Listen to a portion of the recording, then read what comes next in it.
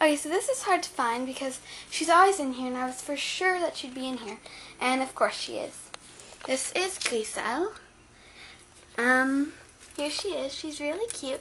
She, we only have two girls, and then the rest of the cats are boys. But she's super adorable and super kind. I just love her.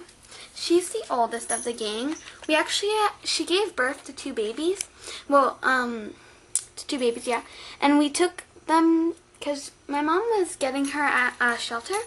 And before she got her, she gave birth to kittens. We took two of the kittens, Mita and Mishka. And this is Grisel. And those are French names, but yeah, because we're French, um, in English. And so, uh, we got her, um, and her two kittens, and, uh, her two kittens died of, um, like, uh, yeah, they died from something, like, uh, heart disease or something like that. But she's really cute and adorable, and she is just so cute. So here she is. Now we're going to move on to Cool Cat. Oh yeah, by the way, I told you we don't let our cats outside. We don't. This is just like a solarium. So cats can't go outside, but they can at least see it, and uh, they can go outside. Uh, well, they can't go outside. I mean, they can feel like they're outside. Um, we always have to make sure they're locked because um, our cat, Cool Cat, he has six fingers. That's why his name is Cool Cat. And um, I'm probably not going to get to show you his six fingers because he doesn't like it when people touch him. But um, he's really nice, and uh, he can open doors that like slide doors like this, not the ones that you have to pull. But this is like a slide door. I'm not gonna do it, but anyway, so we have to make sure it's locked so it doesn't go. So now I'm gonna move on to Cool Cat if I can find them.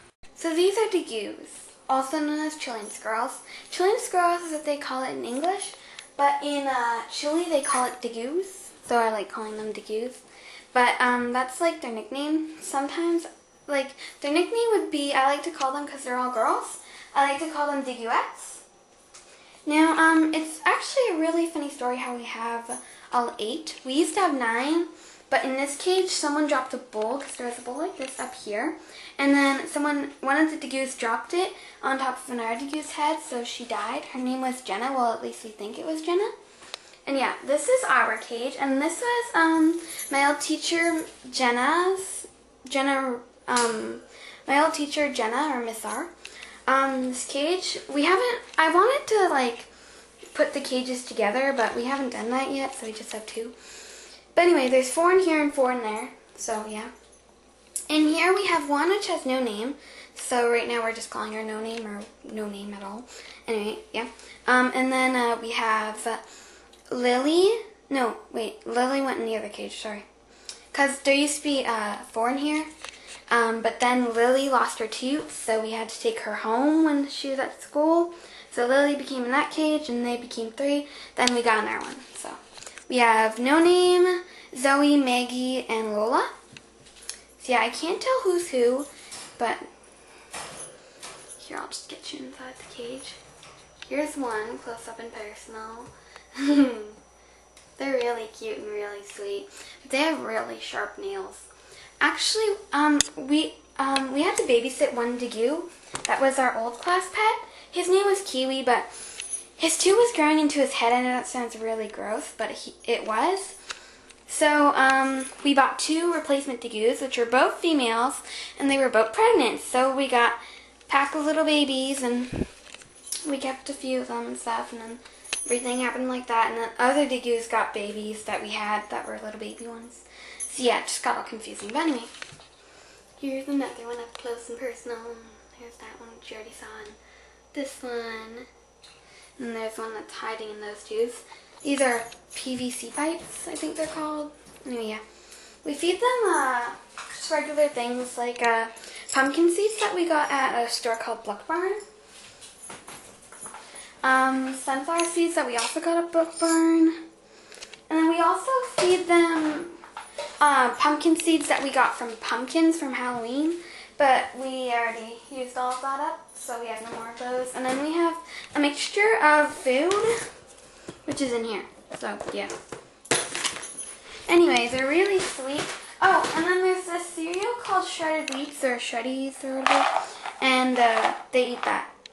Just as long as there's no sugar and stuff. So, anyway. And then in this cage, there's Uh, well, there used to be Jenna, but now there's only. G- blah, blah, sorry. Tongue twister. Or whatever. Um, my tongue was like all in knots. Anyway. Um, Ginger, Lily, Maggie, and Sandy. Here they are, all of them.